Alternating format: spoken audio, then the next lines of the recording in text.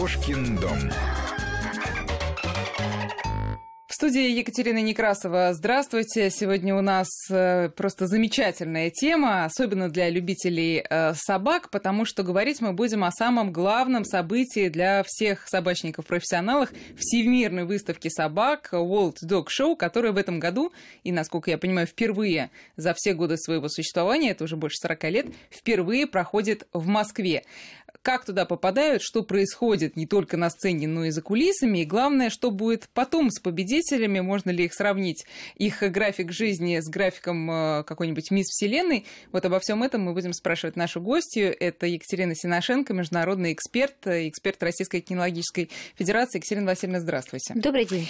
Можно я начну с несколько такого странного двуязычного словосочетания? Вы сейчас точно меня поймете, а вот слушатели вряд ли. Слушайте, Oops, I did it again. Del cuore impavido.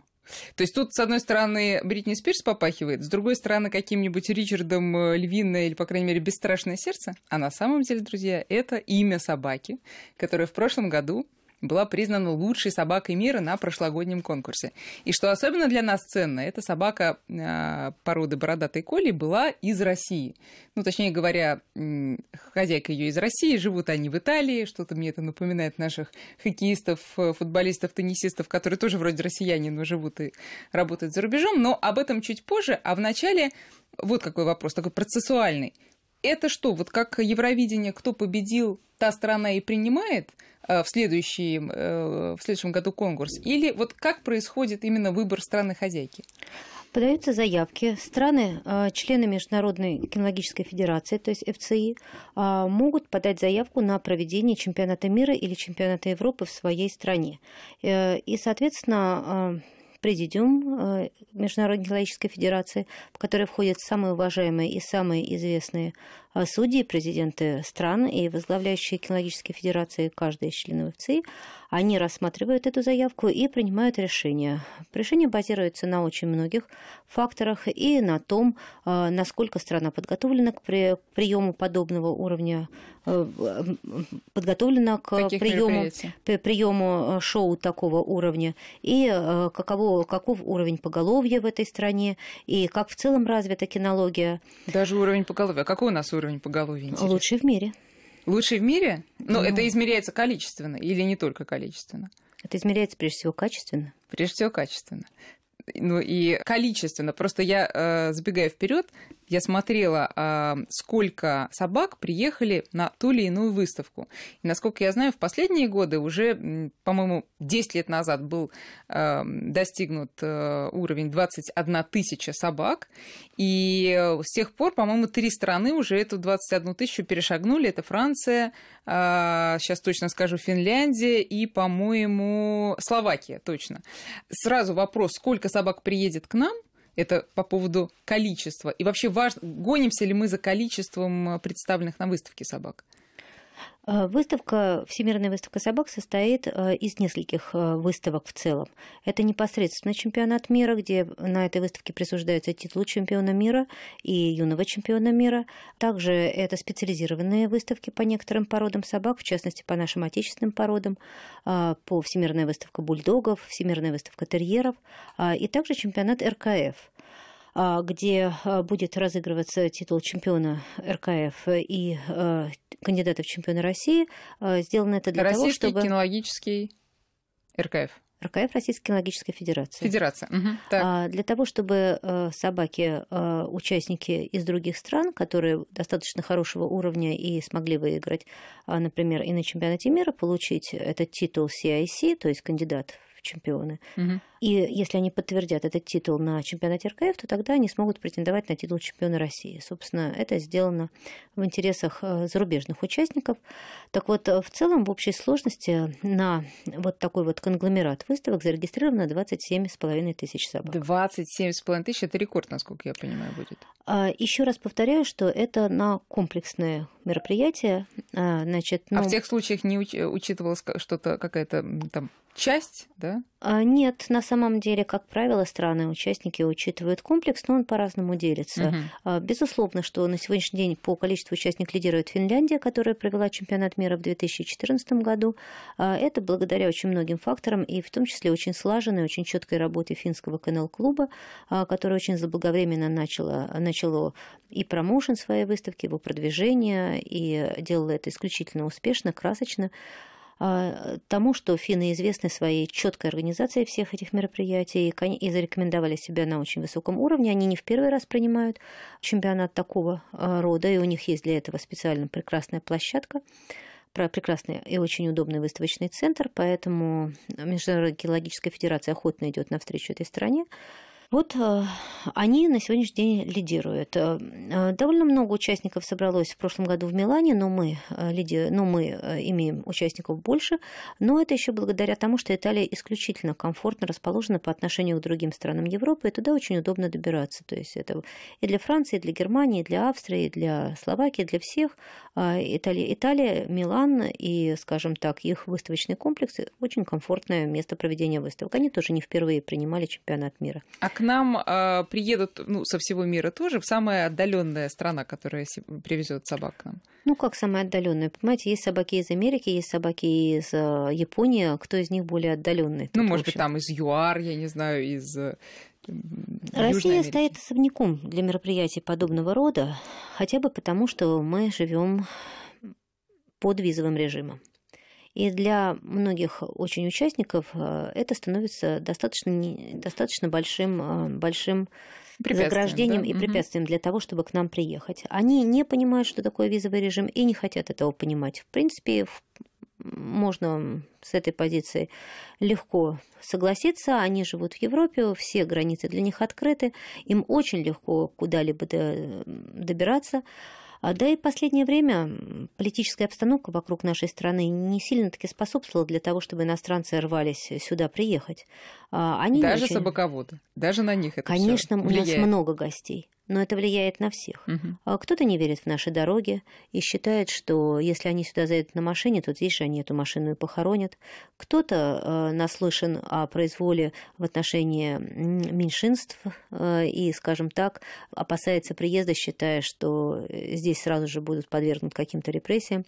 У кого-то есть какие-то абсолютно не подтвержденные, но взросшенные зарубежным кинематографом представления по поводу российской полиции угу. и так далее. Но я помню, были подобные, более или менее подобные страхи перед Олимпиадой, но уезжали все счастливые. Будем надеяться, что и в этом случае Несомненно. так будет. К тому Несомненно. же, как вы сами сказали, все эти препятствия и страхи не помешали пригласить такое количество да, собаководов с питомцами, и будем надеяться, что все они приедут. Теперь, что касается подготовки. Ну, я думаю, глупо спрашивать, если у вас собака, наверняка есть. И Конечно, не есть. И не одна. Вот э, по поводу количества собак. Тот, кто ориентирован на выставки, он пестует одну собаку, готовит ее с молодых ногтей, или у него, как правило, есть несколько, чтобы было из кого выбрать потом? Как это происходит обычно? Ой, тут нет никаких законов, и все происходит совершенно по-разному. Есть, есть профессиональные заводчики, основная цель которых, которая задача, которую перед собой они ставят, это а, производства собак высочайшего уровня, чемпионов э, высочайшего класса. И именно наши российские заводчики своим талантом, своим, своей, э, в общем, одержимостью в какой-то мере, э, своими вообще амбициями и стремлением к победе, они и делают наше поголовье, и делают его лучше всех. Угу. Лучше всех, безусловно. Россияне вообще способны делать все лучше всех, и собаки не исключение.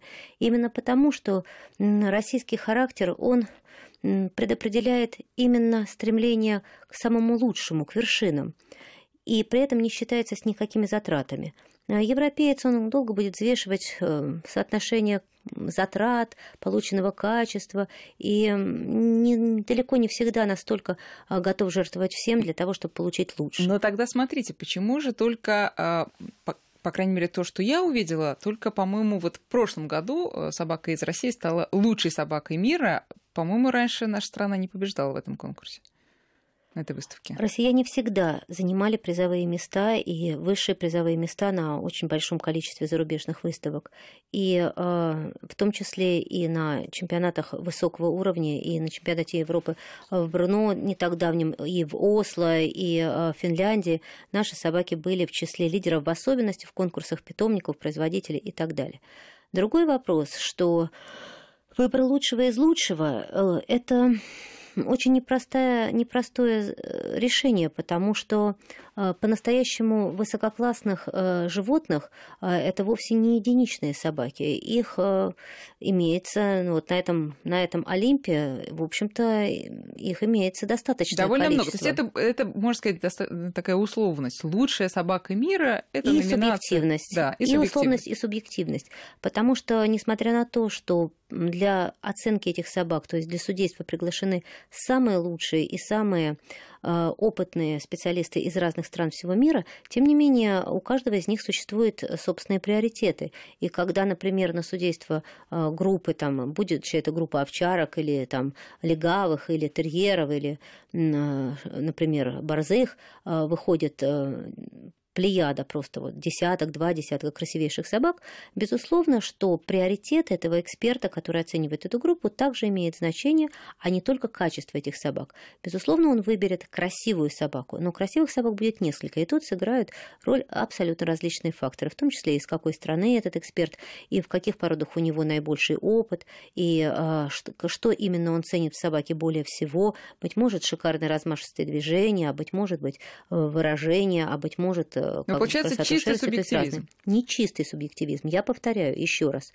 Отличить плохую собаку от хорошей – это не субъективный фактор, это момент это опыта, да. Есть критерии, опыта глаза да. и так далее. Угу. Поэтому и на выставку для судейства приглашаются только очень опытные эксперты, имеющие очень большой опыт.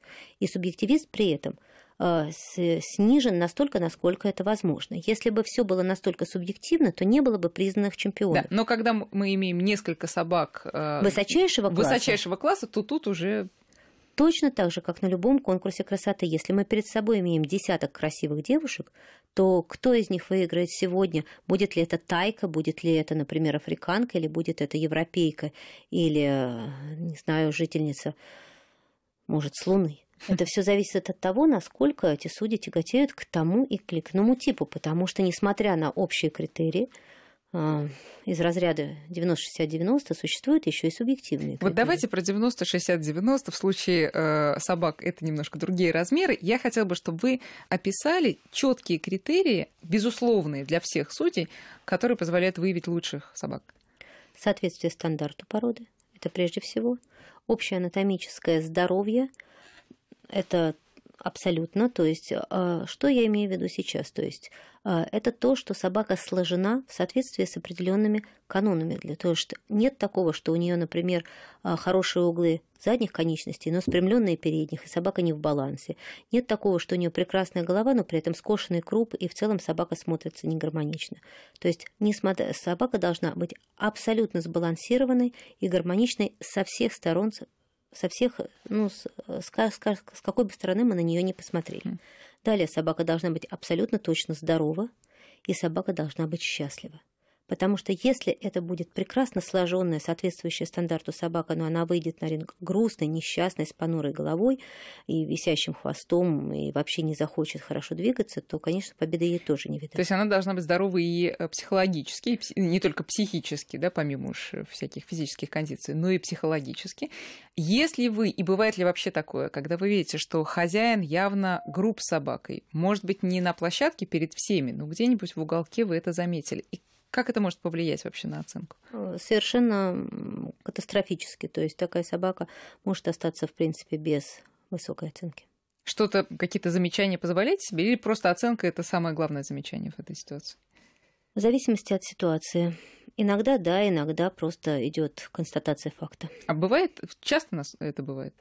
Такие случаи? Такие случаи случаются. И они случаются не только за границей. Например, что касается меня, я останавливаю в этой ситуации ринг, подхожу к хендлеру, к владельцу и объясняю им, что для них выставка на сегодняшний день закончена. Хендлер это кто?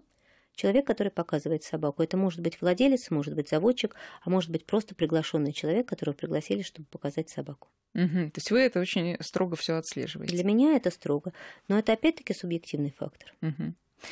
Теперь, знаете, немножко э, забегая назад, а точнее в самое начало, вот с чего все начинается? Ну, понятно, что если папа и мама этой собаки были, участвовали на выставках и получали какие-то там награды, то, скорее всего, и щенок тоже имеет все шансы пойти по стопам родителей. Если щенок не имеет хорошей родословной, вот с чего начинается путь к Олимпу для таких собак? И начинается ли он вообще? Пробовать может любой. Абсолютно. С любой родословной нет вопросов. Вопрос просто, чтобы она была, потому что это как свидетельство чистопородности собаки, то есть ее происхождения. Любой э, владелец собаки, имеющий родословную, может зарегистрировать ее на выставку, прийти и показать ее э, судьям. Дальше, наверное, будет зависеть от того, какой результат он получит. Угу. Но я так понимаю, что, э, там, естественно, команда сидеть, стоять к ноге явно недостаточно, и это долгий кропотливый труд по дрессуре. И не всегда справляется с этой дрессурой сам хозяин, да, а нанимают специально. Нет, отнюдь. Это вообще никакого отношения к дрессуре не имеет. То, что вы сейчас назвали, команда сидеть, стоять, лежать, это соревнование. Это соревнование по общему курсу дрессировки, по э, различным другим видам дрессировок, которых у нас очень много есть, agility, obedience, там Вы вот про это я тоже собака. хотела поговорить. Выставка – это не состязание, это не упражнение в послушании. Это показ собаки, как она сложена, насколько она красива и, безусловно, играет роль, насколько она вменяема. А как называется вот эта часть соревнований, когда на собаку просто смотрят, на ее физические кондиции? Имеет какое-то название вот эта часть? Показ или... Может быть, показ. Показ, понятно. Показ собаки на выставке, да, можно говорить так. Есть просто какое-то вот э, слово хендлинг. Хен... Это он? Это к соревнованию не имеет тоже отношения. Хендлинг – это конкретно... Handle – это рука. Соответственно, хендлинг – это как бы вот э, как вы берете Э, поводок в руки угу. рукой, угу. и вот вы проводите. То есть это, я так думаю, не для эфира и мое объяснение. А, значит, и э, хендлинг это... Это демонстрация собаки, да? Можно проход, сказать так. Проход с собакой, да, и показ ее судьям. Нет, не проход. Давайте начнем сначала. Как выглядит вообще выставка? Процедура показа на выставке. А вы заходите с собакой, вы или кто-либо заходит с собакой в ринг, подходит к судье. А судья просит показать зубы у собаки, потому что все начинается с показа зубов. Показ зубов не есть просто пересчет количества зубов собаки. Это тест на ее нервную систему. То есть вопрос не только в том, чтобы в порядке был прикус и в порядке была в целом зубная система. Вопрос в том, чтобы собака спокойно, абсолютно беспроблемно а, позволяла продемонстрировать э, зубы, в общем-то, незнакомому человеку. То есть это управляемость и это вменяемость собаки. Если собака нервная, возбужденная и вообще ненормальная, она с этим элементарным упражнением не справляется. На этом выставка просто закончится. Даже если эта собака идеальная. Mm-hmm. Если она не может показать зубы, значит, у нее не в порядке психика, значит, она вырывается, кусается, там убегает или еще что-нибудь. Спасибо, но Таких животных мы не оцениваем. Угу. Оцениваем только животных а как ее приучить психикой. к тому, чтобы она спокойно себя вела? Еще плюс к тому, что все-таки она попадает в совершенно сумасшедшее окружение. Э, мы с отсутствием нюха чувствуем там себя и то, да, большое количество народа, может быть, не очень уютно. А для собаки столько запахов. Конечно, выставка – это стрессовая ситуация. Безусловно, совершенно.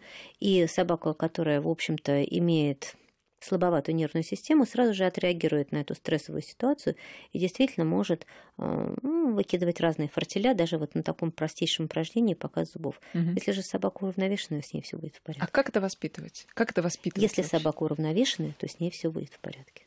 То есть воспитывать спокойно, чтобы она не стала... Это не воспитание. Нет. А что? Это качество. А это качество природное? Я... Бывают холерики, бывают флегматики. Бывают уравновешенные люди, бывают неуравновешенные. Другой вопрос – что собаку, которая изначально нормальная, можно сделать ненормальной, если, если, долго если ее гробить, бить, там, да. кричать, бить и так далее. Но люди, которые кричат и бьют собак, на выставку их не приводят. И собаку, которая излишне пугливая, нервная, трепетная и так далее, можно адаптировать, э, в общем-то, к стрессовым ситуациям. Ну, таких собак тоже на выставку не приводят. Угу. Хозяева, которые пришли и увидели, что их собака чувствует себя на выставке неуютно, нервно, испуганно, вряд ли станут подвергать нервную систему этой собаки подобным стрессам в дальнейшем. Только если у них, ну, просто пропасть амбиций. Но собака, которая боится выиграть, не может. Выиграть, повторяю, может только счастливая собака. А уверенная собак... в себе. А собака хочет выиграть? Или все-таки хочет выиграть хозяин, собака тут совершенно ни при чем? Однозначно есть собаки, которые хотят выиграть. А что вот у них в голове? Можете себе представить и нам Они рассказать? рождены чемпионами. Они понимают, что идет соревнование. Чемпион всегда понимает, что такое быть чемпионом. Это собаки особого уровня и особого, особого качества, так как внешне, так и душевно. И каждый заводчик счастлив получить такого щенка. Такого щенка видно с первых же дней. Он по-другому стоит, он по-другому смотрит, он по-другому двигается. Таких собак очень часто не продают, а сохраняют для себя, потому что это собаки, рожденные звездами. И такие собаки уже с бэбиков с трех-четырех месяцев выходят на выставку и понимают сразу же, что они пришли сюда, чтобы быть лучшими. А с какого, кстати, возраста начинает э, собак приводить на выставку? Класс бэби можно выставить собаку вот начиная с трех месяцев. Это официальное название класс бэби. Да, с трех до шести.